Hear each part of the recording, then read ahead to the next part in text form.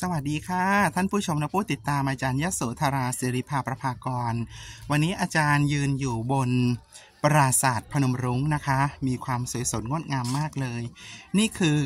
คติทางศาสนาพราหมณ์ฮินดูลัทธิบูชา พระศิวะ หรือลัทธิไสยวนิกายนะคะ มีความสวยงามอลังการนะคะ ถูกสร้างขึ้นด้วยหินนะคะที่ดัดแปลง นะคะที่เกิดขึ้นตามธรรมชาติ ตามภูเขาเหล่ากาต่างๆ ได้ขนย้ายมาสรรสร้างในพื้นที่ตรงนี้ให้เป็นพื้นที่ทางศาสนา เป็นสถานที่กราบไหว้สักการะบูชาและทำพิธีกรรมนะคะทำพิธีกรรมอันสำคัญโดยมีพระมหากษัตริย์ และพราหมณ์ปรหิตนะคะพราหมณาจารย์นะคะผู้สูงศักดิ์ได้มาอยู่ในปราสาทแห่งนี้เช่นเดียวกันนะคะ อันนี้ด้านหน้าของปราสาทนะคะ เราจะเจอ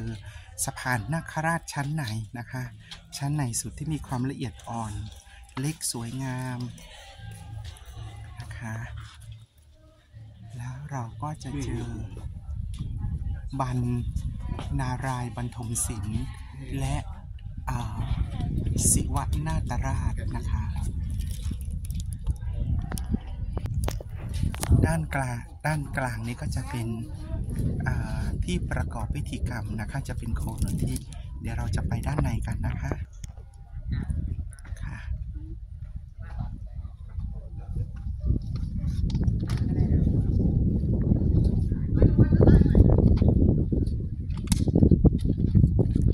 อันนี้ด้านบนสุดนะคะ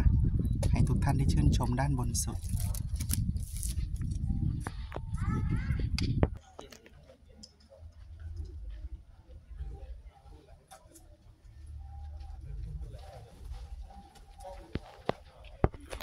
ยวเราจะเข้าไปดูด้านในนะคะ ด้านในนี้นะคะ ก็จะเป็นที่ประทับขององค์พระศิวะลึงนะคะ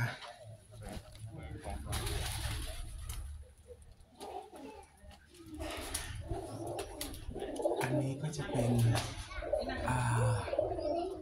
ประวัติความเป็นมาที่เกิดขึ้นที่นี่นะคะท่านผู้ชม แล้วก็ด้านในนี้ก็จะเป็น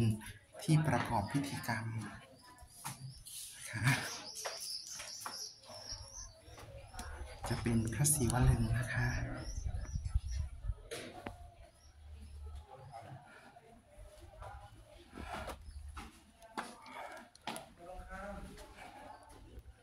อันนี้ก็คือห้องโถงกลางนะคะ ในสมัยนั้นนั้นคงจะ มีผู้มาประกอบพิธีกรรมอย่างมากนะ